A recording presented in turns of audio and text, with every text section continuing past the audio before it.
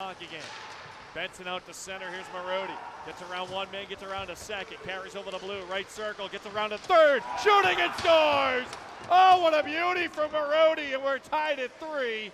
Time of the goal, six minutes and seven seconds. He danced around three Gulls and put it past Dostal for his second of the season. That's a highlight reel goal from Marody as he walks around two Gulls in tight on Dostal and ties this game at three apiece.